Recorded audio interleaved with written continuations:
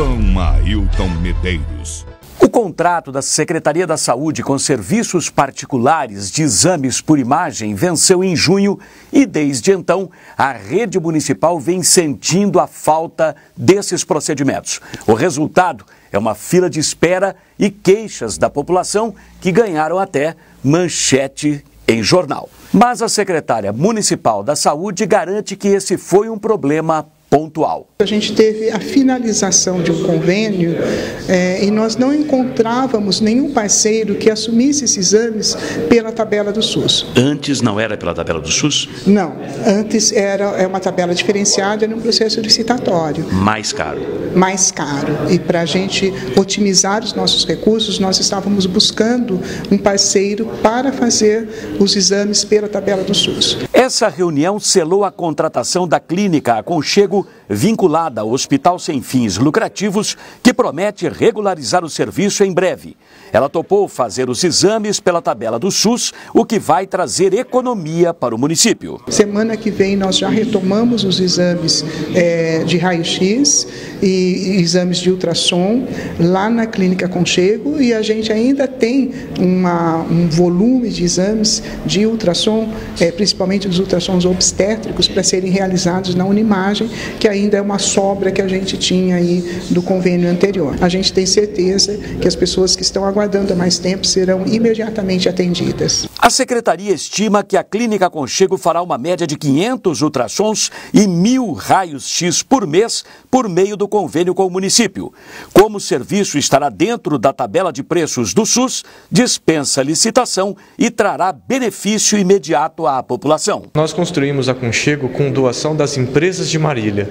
Né? Então, quando a gente vem aqui e firma essa parceria, a gente entende que é, deu certo esse investimento das empresas como responsabilidade responsabilidade social e deu certo com a Secretaria de Saúde em cumprir a missão da Conchego, que é sempre fazer o bem ao próximo. Então, eu acredito que todo mundo vai ganhar, eu acredito que a qualidade da Clínica Conchego agora vai poder ser reconhecida e, e ainda mais a gente poder servir que é a missão do Hospital Espírita e a missão da Clínica Conchego. Basicamente, quais são os exames que vocês vão oferecer? É, basicamente vai ser os exames de raio-x e de ultrassom. Agora é possível fazer tudo isso com a tabela SUS, que é o que vocês estão oferecendo para a Secretaria? Em retribuição a a, a população de Marília e as empresas que investiram, nós vamos fazer, é, mesmo que talvez a tabela SUS não seja atraente, mas vamos fazer por compromisso com a população.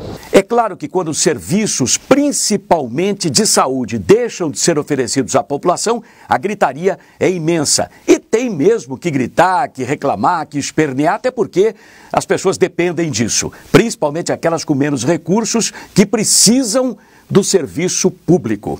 Mas, no caso específico de Marília, essa pequena demora acabou acarretando uma economia grande para o município, porque antes era uma clínica particular que fazia o serviço, agora é um hospital sem fins lucrativos que tem uma clínica e que vai atender pela tabela SUS muito mais em conta, bem abaixo daquilo que se pagava anteriormente. Ou seja, todos vão sair ganhando. Aliás, eu perguntei à secretária da Saúde, aproveitando essa situação, o que ela acha. A saúde em Marília mudou, melhorou na atual gestão em relação às anteriores ou não? Veja a resposta.